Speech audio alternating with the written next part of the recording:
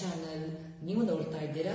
ನನ್ನ tutorial friends ನೀವೇನಾದ್ರೂ ನನ್ನ ಚಾನಲ್ ಅನ್ನು ಹೊಸದಾಗಿ ನೋಡ್ತಾ ಇದ್ರೆ ಅಂತ ದಯವಿಟ್ಟು ಸಬ್ಸ್ಕ್ರೈಬ್ ಮಾಡಿ, ಹಾಗೂ ಪಕ್ಕದಲ್ಲಿರುವಂತಹ ಬೆಲ್ ಐಕಾನ್ ಮೇಲೆ ಪ್ರೆಸ್ ಮಾಡಿ. ಯಾಕಂದ್ರೆ ನನ್ನ ಒಂದು ಮುಂದಿನ ವಿಡಿಯೋಸ್ ಬಗ್ಗೆ ನಿಮಗೆ ನೋಟಿಫಿಕೇಶನ್ ಕೂಡ ಸಿಗುತ್ತೆ ಫ್ರೆಂಡ್ಸ್ ಫ್ರೆಂಡ್ಸ್ ಹಾಗಾದ್ರೆ ಇವತ್ತಿನ ಒಂದು ಕ್ಲಾಸಿನ ವಿಶೇಷತೆ ಏನು? ಇವತ್ತಿನ ಒಂದು ಕ್ಲಾಸ್ ನೀವು ಏನ್ ತಿಳ್ಕೊಳ್ತೀರಾ? ಅದನ್ನ ಒಂದು ಹೇಳುವಂತ ಸಮಯ ಇವಾಗ. ಇವತ್ತಿನ ಟ್ಯುಟೋರಿಯಲ್ ಅಲ್ಲಿ ಇವತ್ತು ನನಗೆ ಇಂಟ್ರೊಡ್ಯೂಸ್ ಮಾಡಿಕೊಟ್ಟಿರುವಂತ ಒಂದು ಕಾನ್ಸೆಪ್ಟ್ ಏನು ಅಂತ ಹೇಳಿದ್ರೆ ಡಿಸ್ಟೆನ್ಸ್ ಫಾರ್ಮುಲಾ ಕನ್ನಡದಲ್ಲಿ ದೂರವನ್ನ ಕಂಡುಹಿಡಿಯುವುದು. ದೂರವನ್ನ ಕಂಡುಹಿಡಿಯುವುದು. ಅದು ಯಾವಾಗ ಅಂತ ಹೇಳಿದ್ರೆ ಫ್ರೆಂಡ್ಸ್ ಎರಡು ಬಿಂದುಗಳನ್ನು ಕೊಟ್ಟಾಗ, ಎರಡು ಪಾಯಿಂಟ್ ನಿಮಗೆ ಗೊತ್ತಿದ್ರೆ, ಆ ಎರಡು ಪಾಯಿಂಟಿನ ನಡುವೆ, ಆ ಎರಡು ಬಿಂದುಗಳ ನಡುವೆ ಇರುವಂತಹ ಒಂದು ದೂರವನ್ನ ಕಂಡುಹಿಡಿಯುವಂಥದ್ದು. ಅದು ಯಾವ ತರ? ಕಂಡು ಹಿಡಿಯುವಂಥದ್ದನ್ನು ಈ ಒಂದು ವಿಡಿಯೋ ಮೂಲಕ ನಿಮಗೆ ತಿಳಿಸ್ಕೊಡ್ತಾ ಇದ್ದೇನೆ. ಫ್ರೆಂಡ್ಸ್ ಮತ್ತೆ ಅದಕ್ಕೊಂದು ನಿಮಗೆ ಫಾರ್ಮುಲಾ ಕೂಡ ಕೊಡ್ತಾ ಇದ್ದೇನೆ. ಆ ಫಾರ್ಮುಲಾ ನಿಮಗೆ ಉಪಯೋಗಿಸ್ಕೊಂಡ್ರೆ ನೀವು ಆ ಒಂದು ಎರಡು ಬಿಂದುಗಳ ನಡುವೆ ಇರುವಂತಹ ದೂರವನ್ನು ಕೂಡ ಕಂಡುಹಿಡಿಬಹುದು ಫಾರ್ಮುಲಾ ಒಂದೇ ಇರುತ್ತೆ. ಯಾವುದೇ ಪಾಯಿಂಟ್ ಕೊಟ್ಟಿರಲಿ, ಎಲ್ಲ ಒಂದು ಪ್ರಾಬ್ಲಮ್ ಕೂಡ ಪ್ರೊಸೀಜರ್ ಅಲ್ಲಿ ಸೇಮ್ ಸೇಮ್ ಆಗಿರುತ್ತೆ.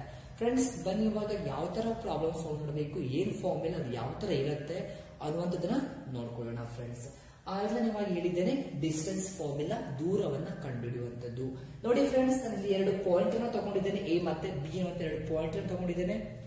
ಆ ಪಾಯಿಂಟ್ಗೆ ಒಂದು ಕೋಆರ್ಡಿನೇಟ್ಸ್ ಪಾಯಿಂಟ್ಸ್ ಅನ್ನ ಬರ್ಕೊಂಡಿದ್ದೇನೆ. ಸೊ ನೀವು ಒಂದು ಎಕ್ಸ್ ಮತ್ತೆ ವೈ ಆಕ್ಸಿಸ್ ಅನ್ನ ಹಾಕಿದ್ರೆ ನಿಮಗೆ ಟೂ ಕಾಮಾ ತ್ರೀ ಒಂದು ಪಾಯಿಂಟ್ ಅನ್ನು ತಗೊಂಡಿದ್ದೇನೆ.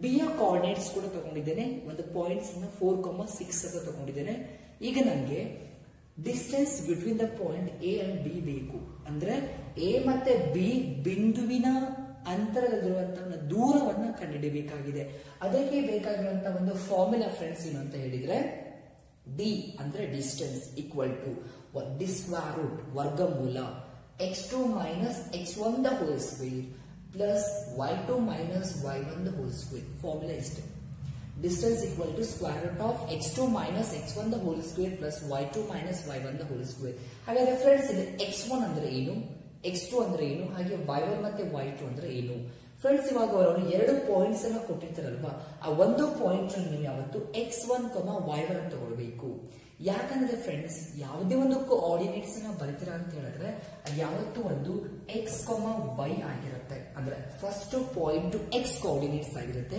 ಸೆಕೆಂಡ್ ಎರಡನೇ ಪಾಯಿಂಟ್ ವೈ ಕೋಆರ್ಡಿನೇಟ್ಸ್ ಆಗಿರುತ್ತೆ. ಆ ಒಂದು ರೀಸನ್ಗೋಸ್ಕರ ನಿಮಗೆ ಎರಡು ಪಾಯಿಂಟ್ ಇದೆ. ಅದ್ರಗೋಸ್ಕರ ನೀವು ಮೊದಲ ಪಾಯಿಂಟ್ ಅನ್ನು ನೀವು ಎಕ್ಸ್ ಒನ್ ವೈ ಒನ್ ತಗೊಳ್ತೀರಾ? ಎರಡನೇ ಪಾಯಿಂಟ್ ನೀವು ಎಕ್ಸ್ ಟು ವೈ ಟು ಅಂತ ಪರಿಗಣಿಸ್ತೀರಾ?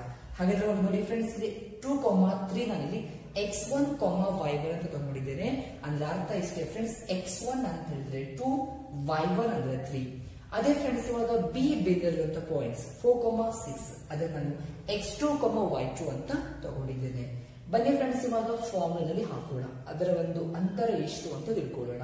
So d equal to square root ಅನ್ನ ಹಂಗೆ ಇಡ್ತಾ ಇದ್ದೇನೆ ಫ್ರೆಂಡ್ಸ್ ಎಕ್ಸ್ ಟೂ ಅಂದ್ರೆ four minus x one so four minus two the whole square plus ಹಾಗೆ ಬರ್ಕೊಳ್ತಾ ಇದ್ದೇನೆ y two minus y one six minus three the whole square just values substitution ಮಾಡ್ಕೊಳ್ತೀರಾ next simplify ಮಾಡ್ಕೊಳ್ತೀರಾ friends four minus two ಅಂದ್ರೆ two two square plus six minus three ಅಂದ್ರೆ three ಇರುತ್ತೆ friends three square then d equal to square root of two square. ಅಂದ್ರೆ two ಅನ್ನು two times multiply ಮಾಡ್ತೀರಾ?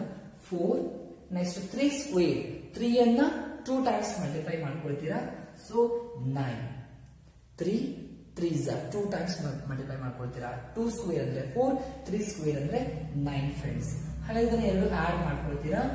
Nine plus four ಅಂತ ಹೇಳಿದ್ರೆ friends thirteen ಹಾಗಾದ್ರೆ ಆ ಎರಡು ಬಿಂದುಗಳ ನಡುವಿರುವಂತ ದೂರ thirteen square sorry thirteen units ಆಗಿರುತ್ತೆ ಫ್ರೆಂಡ್ಸ್ ಅಂದ್ರೆ ನಿಮ್ಮ ಒಂದು ಸ್ಕೇಲ್ ಸೆಂಟಿಮೀಟರ್ ಇದೆ ಸೆಂಟಿಮೀಟರ್ ತಗೊಳ್ತೀರಾ ಮೀಟರ್ ಇದ್ರೆ ಮೀಟರ್ ತಗೊಳ್ತೀರಾ. ಸೊ ಹಾಗೆ ಡಿಸ್ಟೆನ್ಸ್ ಅನ್ನ ನಾನಿಲ್ಲಿ ಯೂನಿಟ್ಸ್ ಅಲ್ಲಿ ಎಕ್ಸ್ಪ್ರೆಸ್ ಮಾಡಿದ್ದೇನೆ ಫ್ರೆಂಡ್ಸ್ ಬೇಕಾದ್ರೆ ರೂಟ್ ಥರ್ಟೀನ್ ವ್ಯಾಲ್ಯೂಸ್ ಬೇಕಾದ್ರೆ ತಗೊಳ್ಬಹುದು ಕೆಲವು ನನಗೆ ಪರ್ಫೆಕ್ಟ್ ಸ್ಕ್ವೇರ್ ರೂಟ್ ವ್ಯಾಲ್ಯೂ ಕೂಡ ಸಿಗುತ್ತೆ.